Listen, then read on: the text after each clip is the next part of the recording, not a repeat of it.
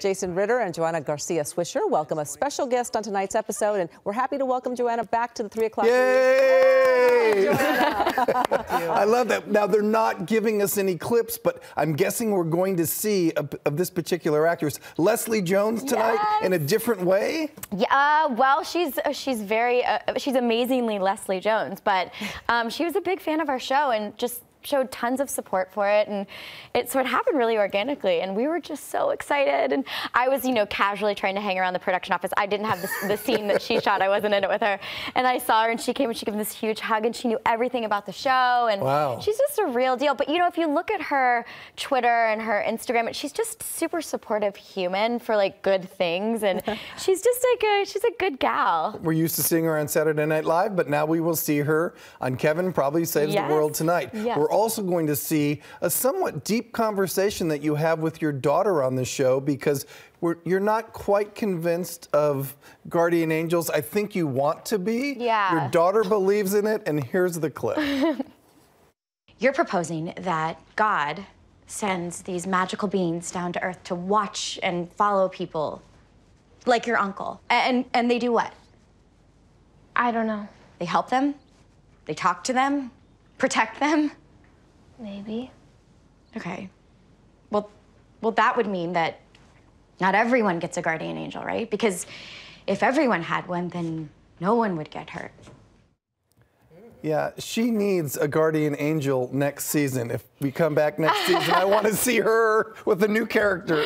I know. You know, Amy is a scientist, so she doesn't totally uh, know about this whole, you know, God and, and, and the afterlife or anything like that. But also, too, what, in one of the like the towards the end of that scene, I sort of s- explained to my daughter that, you know, if there is a God, then why would He take someone like your father who was such a good man? And so I think that, you know, one of the things that attracted me this role was uh, that in the show is that there was just as much levity as there was heart, and I think that that is like a perfect example of, you know, that we can make you laugh and make you cry all in one episode. And so um, I, I love that about her character that she's still struggling so much. My character that she's still struggling so much. Has the conversation with fans changed for you? Because I think that people do like this kind of deeper meaning that your show offers, and I'm just curious if they're asking you kind of spiritual questions now. Well, the interesting thing, the thing that I'm most proud of and most proud to be a part of the show.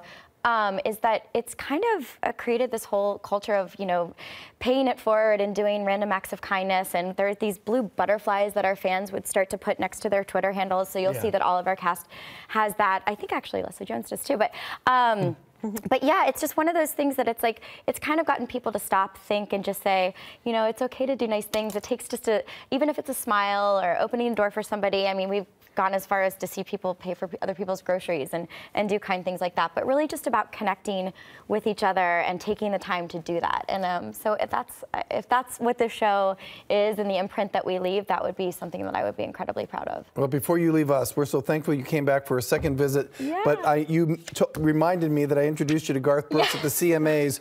Who else do I need to put on the list so the next time I I, have, see you? I have it in my purse. Okay. I literally cried. I was like, I, I revealed that I was obviously a huge fan. You couldn't deny it. And he's like, I just interviewed him. And oh, he's walking up right now. I was like, please don't, please don't, please don't, please don't. And then he was like, hey, Garth. And I was like, oh.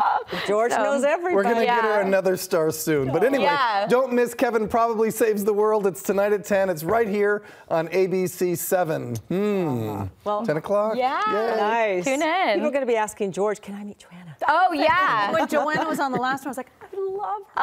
Oh, you're so sweet. I've been Uh, watching your career very for mutual. so long. So happy for you. Well, we'll see you next week. Yeah, why not?